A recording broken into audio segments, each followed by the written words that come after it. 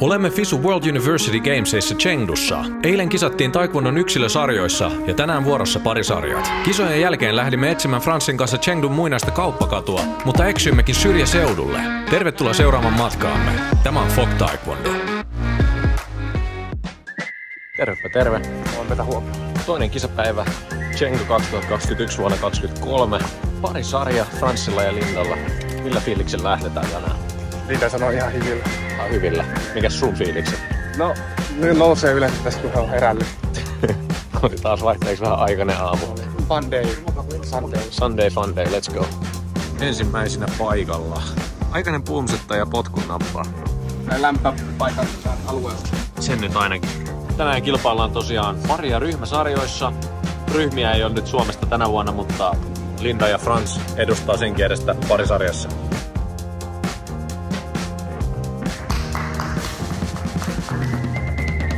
Suomen pari valjakon oli aika lämpätä, sillä pian he pääsivätkin nousemaan jo kisalavalle. Ensimmäiseksi heillä oli vuorossa Paul Chang, eli kahdeksas puumse.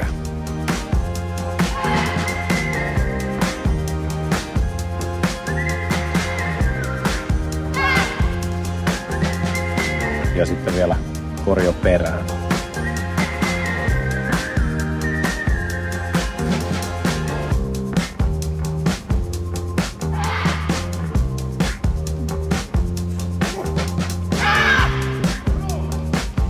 Sijoittuvat tässä kohtaa kuudenneksi, mutta vielä muutama tulossa tässä heidän sarjassaan. Iso sarja kyseessä. Toivotaan, että riittää jatkopaikkaa. Franssin ja Lindan pisteet eivät valitettavasti riittäneet tällä kertaa semifinaalipaikkaan.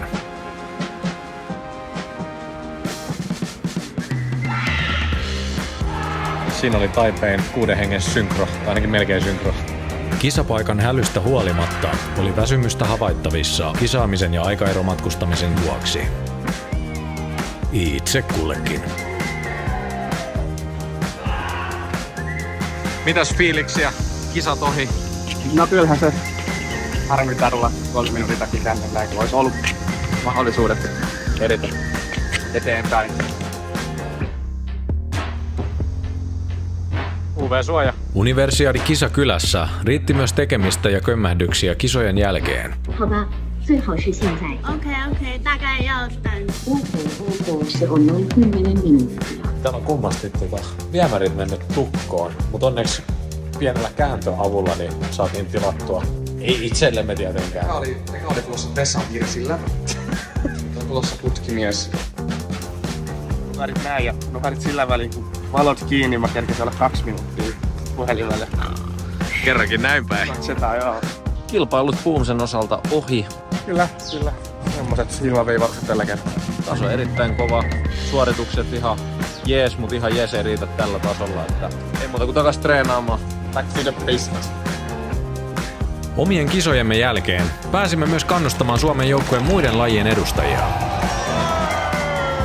Erilaista tekemistä kisakylässä ja sen ulkopuolella riitti.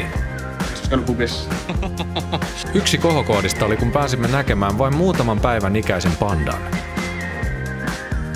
Ja pääsimme kokeilemaan myös paikallista maalaus- ja kirjoitustaitoa ammattilaisen ohjauksessa. Lähdimme myös seikkailemaan kisakylän ulkopuolelle Chengdun keskustaan, mutta kovin pitkään emme saaneet liikkua rauhassa. Smile! Tää on vähän kuin olisi joku suur, iso urheilija täällä. Otetaan sieltä seuraava.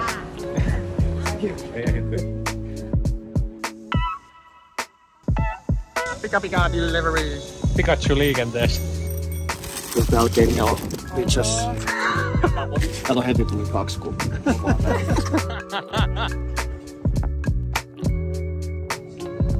Chengdun keskusta oli illalla erittäin tunnelmallinen. Aika outo, että noin kaikki kolme on samassa. Päätimme seuraavana aamuna vielä Fransin kanssa lähteä etsimään tuhansia vuosia vanhaa muinaista kauppakatua. Mennään tuhansia vuosia takaisin ajassa. On outo, kun ne on 2021 kisat. Totta. Valittiin täydellinen turistikeli. Turistikelin lisäksi meille taisi tulla kommunikaatiovirhe taksikuskin kanssa, sillä hän vei meidät aivan väärään paikkaan. Meillä ei tietenkään netti toiminut, joten menimme pyytämään apua paikallisilta pienestä kyläkaupasta. Meidän ensimmäinen taksikuski vei meidät aivan väärälle pikkukylälle.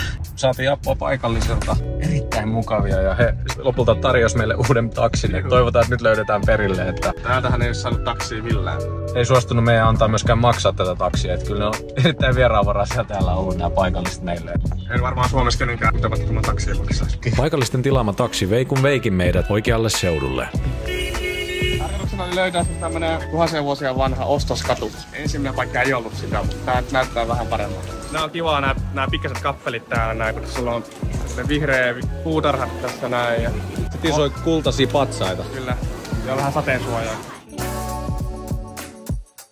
Eikö ole ikinä nähnyt, kun munaa kaiveretaan? Enko on tunnettu niiden hotpotista, joka on tosi tulinen ja siihen laitetaan tätä Sichuan peppercorn. Tää on sitä kovaa kamaa, tää polttaa mennä tulee. Niin ne hyvät chilit tuppaa tekee, että on kaksiosainen suoritus. Täällä on vähän erilainen legendaarinen avaruusslogan. Omalla tavallaan kyllä aika vaikuttava kauppakatu.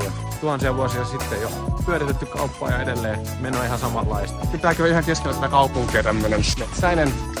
Etsimään ihan yhtä kuten kaupunki. Kiitos kun seurasitte. Kokia.